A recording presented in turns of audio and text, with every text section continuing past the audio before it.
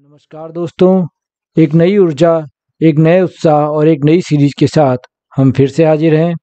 लंबे समय से चैनल पर कोई वीडियो ना अपलोड होने का हमें खेद है। इस नई सीरीज़ में हम फ़िज़िकल एजुकेशन से रिलेटेड हर टॉपिक के मिनिमम हंड्रेड क्वेश्चंस करेंगे, जो हमारे आने वाले D triple S B U P T G T M P set जैसे एग्ज़ाम्स के लिए बहुत ही इम्पोर्टेंट हैं।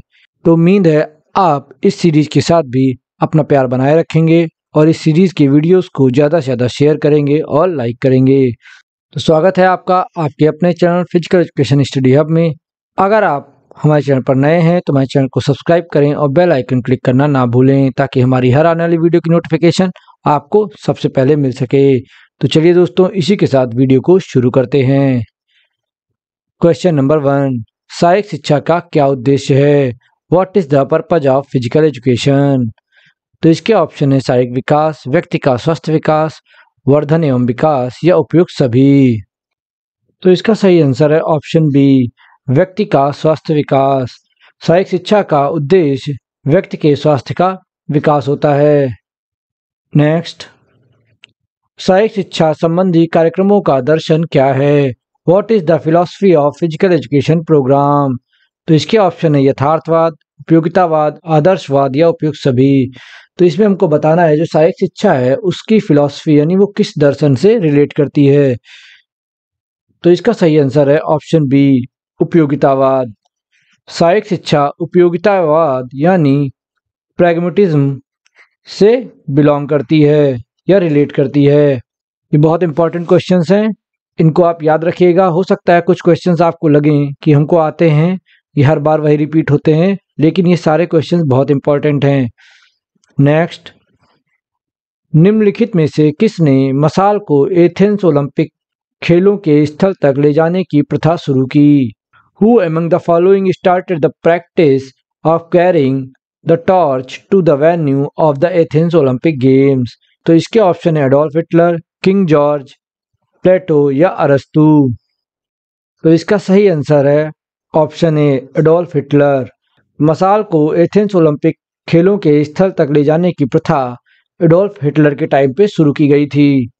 नेक्स्ट, ओलंपिक ध्वज की बनावट निम्नलिखित में से एक किस प्रकार की होती है? What is the structure of Olympic flag तो इसके ऑप्शन है बिना किनारे वाली सफ़ेद पृष्टिका और केंद्र में ओलंपिक प्रतीक, काला किनारे वाली सफ़ेद पृष्टिका और केंद्र में ओलंपिक प्रतीक। बिना किनारे वाली पीली पृष्ठिका और शिखर के दाएँ कोने में ओलंपिक प्रतीक या फिर बिना किनारा वाली धूसर पृष्ठिका और केंद्र में ओलंपिक प्रतीक। तो इसको बताना है कि जो ओलंपिक का ध्वज होता है वो कैसा होता है? तो आप सभी ने देखा होगा व्हाइट कलर का होता है और सेंटर में ओलंपिक का प्रतीक होता है। तो इसका सही आंसर है ऑप्शन ए बिना किनारा वाली सफ़ेद पृष्ठिका और केंद्र में ओलंपिक प्रतीक। नेक्स्ट प्रथम ओलंपिक खेल किसके नियंत्रण में खेले गए? Under whose control were the first Olympic games played तो जो पहले ओलंपिक गेम हुए थे, उस समय वो गेम किसके नियंत्रण में हुए थे? देखिए डीएसएसबी में इस तरीके के क्वेश्चन ही पूछे जाते हैं, घुमा के थोड़े से, जो आपको कंफ्यूज कर दें। तो इसलिए ये क्वेश्चन आपके लिए बहुत इंपॉर्टेंट हैं। तो इसके ऑप्शन है किंग जॉर्ज द्वितीय किंग जॉर्ज प्रथम थियोडोसिस या मार्टिन लूथर किंग तो इसका सही आंसर है ऑप्शन बी किंग जॉर्ज प्रथम। ठीक है? किंग जॉर्ज प्रथम के नियंत्रण में फ़र्स्ट ओलंपिक गेम्स हुए थे। नेक्स्ट क्वेश्चन नंबर सिक्स प्रथम आधुनिक ओलंपिक खेलों के संबंध में निम्नलिखित में से कौन सा कथन सत्य है? Which of the following statement is true regarding the first modern Olympic games तो इसके ऑप्शन है, सारे प्रतिभागी सदस्य महिलाएँ थीं, सारे प्रतिभागी सदस्य ग्रीक थे, सारे प्रतिभागी सदस्य पुरुष थे, या सारे प्रतिभागी रोमन थे? तो इसका सही आंसर है ऑप्शन सी सारे प्रतिभागी सदस्य पुरुष थे, जो पहले मॉडर्न ओलंपिक गेम्स हुए थे, जो एथेंस में 1896 में हुए थे। इसमें 14 कंट्रीज़ के खिलाड़ियों ने पार्टिसिपेट किया था, जो कि सारे के सारे मेन यानी पुरुष थे। नेक्स्ट ओलंपिया में खेले गए ओलंपिक खेलों में किसके सम्मान में महिलाएँ पृथक प्रतियोगिताओं में शामिल हुई थीं? In whose honour were women included in separated competition at the Olympic games played in Olympia तो इसके ऑप्शन है देव ज्यूस देवी हेरा, देव अपोलो या इनमें से कोई नहीं। तो इसका सही आंसर है ऑप्शन बी देवी हेरा। ओलंपिया में खेले गए ओलंपिक खेलों में महिलाएँ देवी हेरा के सम्मान में पृथक प्रतियोगिताओं में शामिल होती थीं। नेक्स्ट ग्रीक भाषा में एथलीट का अर्थ है। एथलीट इन ग्रीक मीन्स तो इसके ऑप्शन है नगर राज मुद्रा अर्जक पुरस्कार का आकांक्षी या दौड़। तो इसका सही आंसर है ऑप्शन सी, पुरस्कार का आकांक्षी। कुछ प्रतियोगिताओं में आपको मुद्रा अर्जक भी इसका आंसर मिल सकता है, लेकिन ग्रीक भाषा में इसका अर्थ होता है one who compete for prize तो इसलिए इसका सही आंसर होगा पुरस्कार का आकांक्षी। वो इंसान जो पुरस्कार के लिए या प्राइज के लिए खेलता है, उसे एथलीट कहते हैं। कहीं कहीं पे आपको मुद्रा अर्जक भी आंसर मिल सकता है। तो इसको लेके आपको घबराना नहीं है। दोनों ही आंसर होते हैं। अलग अलग एग्ज़ाम की आंसर की में ये पॉसिबल है। नेक्स्ट किस ओलंपिक खेल में यह पता लगा कि बेहतर प्रदर्शन के लिए नशीली दवाओं का सेवन किया जा रहा है?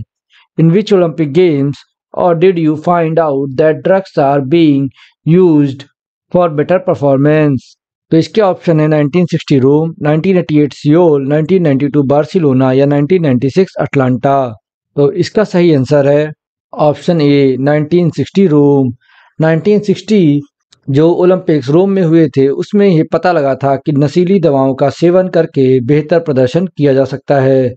तो इसका सही आंसर होगा ऑप्शन ए नेक्स्ट प्राचीन काल में तक्षशिला किसके लिए प्रसिद्ध था? What was Takshashila famous for in Asian time तो इसके ऑप्शन है छदम युद्ध, अश्वारोहण, धनुर्विद्या प्रशिक्षण या रथों की दौड़ की प्रतियोगिता।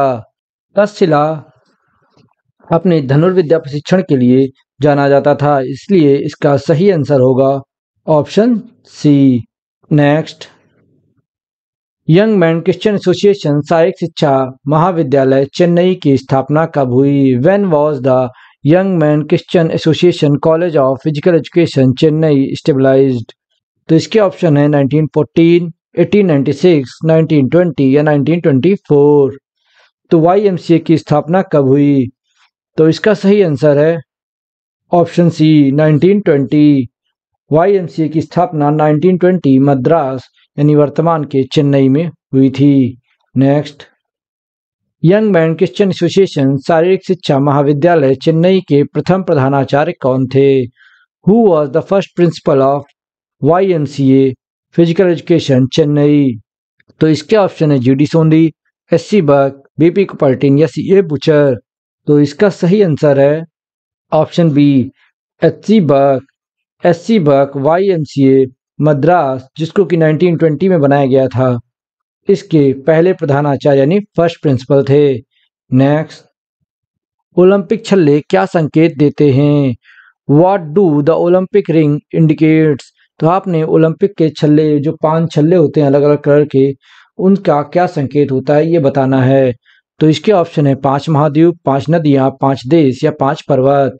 तो इसका सही आंसर है ऑप्शन ए, पाँच महाद्वीप।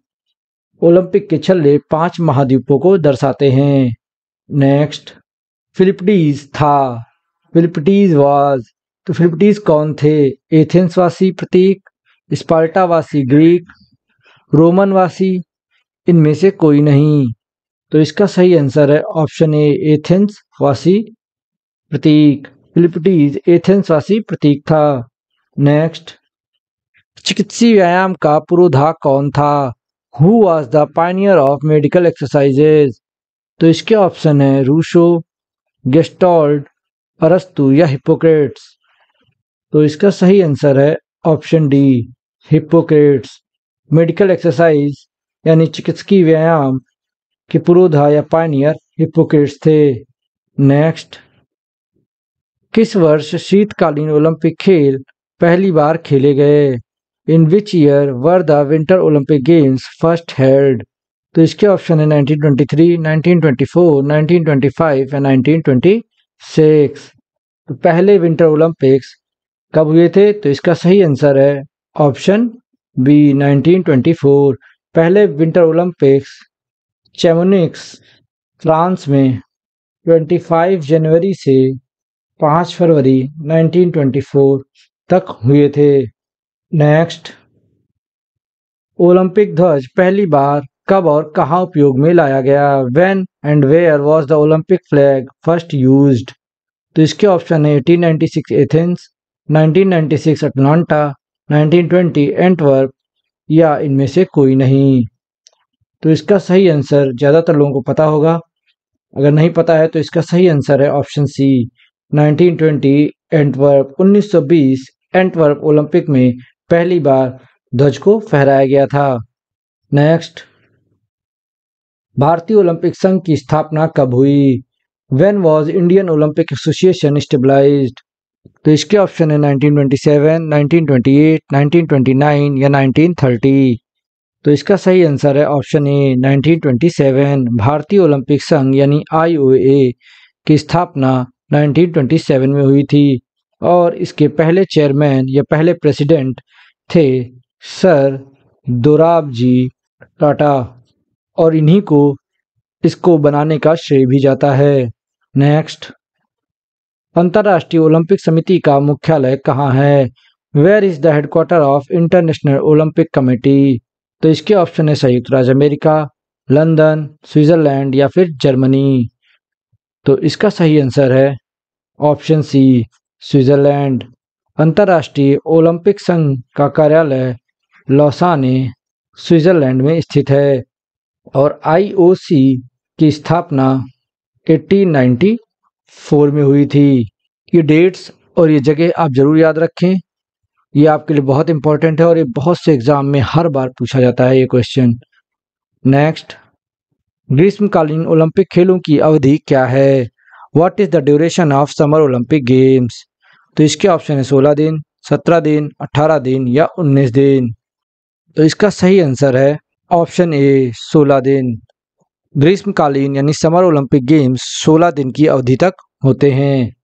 पहली बार 16 दिन के जो ओलंपिक हुए थे, ये पहली बार 1928 जो एम्स्टर्डम में हुए थे, तब शुरू किए गए थे। 1928 का ओलंपिक पहली बार 16 दिन का ओलंपिक हुआ था। आज के वीडियो में इतना ही। अगर आपको हमारा वीडियो पसंद आया तो वीडियो को लाइक करें, कमेंट करें और वीडियो को ज़्यादा से ज़्यादा शेयर करें, ताकि यह हर जरूरतमंद तक पहुँच सके। चैनल को सब्सक्राइब करना ना भूलें।